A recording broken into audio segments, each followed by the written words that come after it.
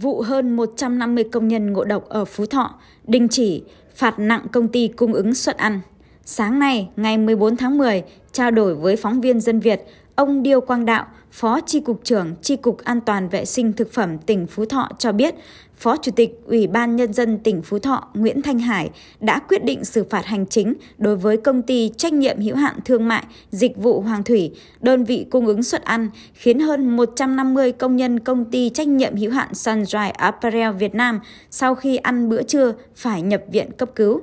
Theo đó, công ty trách nhiệm hữu hạn thương mại dịch vụ Hoàng Thủy có địa chỉ tại lô TT02, khu công nghiệp Thụy Vân, phường Vân Phú, thành phố Việt Trì, tỉnh Phú Thọ bị xử phạt 180 triệu đồng do vi phạm về lĩnh vực an toàn thực phẩm.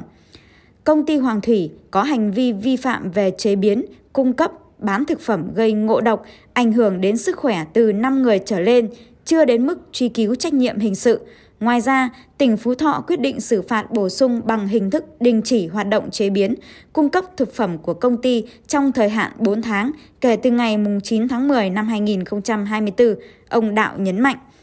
Đồng thời, công ty Hoàng Thủy còn chịu mọi chi phí cho việc xử lý ngộ độc thực phẩm, khám và điều trị công nhân bị ngộ độc. Sau vụ việc hơn 150 người lao động nhập viện và thực trạng các lực lượng vào cuộc xử lý, lãnh đạo tỉnh Phú Thọ yêu cầu các ngành, địa phương quản lý chặt quá trình từ sản xuất đến tiêu dùng đối với các sản phẩm, nhóm sản phẩm thực phẩm được phân công quản lý. Đặc biệt, phải xây dựng phương án chủ động tăng cường thực hiện các biện pháp ngăn ngừa, xử trí ngộ độc thực phẩm rõ trách nhiệm, cơ quan chủ trì, cơ quan phối hợp, phân luồng phân tuyến người bệnh. Đồng thời, chú trọng hoạt động thanh tra, kiểm tra định kỳ, đột xuất công tác an toàn thực phẩm với đơn vị thuộc quyền quản lý có hợp đồng cung cấp thực phẩm cho các bếp ăn tập thể doanh nghiệp, trường học, ngăn chặn kịp thời các loại thực phẩm không đảm bảo, không bảo quản đúng quy định, thực hiện truy xuất nguồn gốc thực phẩm nhằm đảm bảo sức khỏe người tiêu dùng.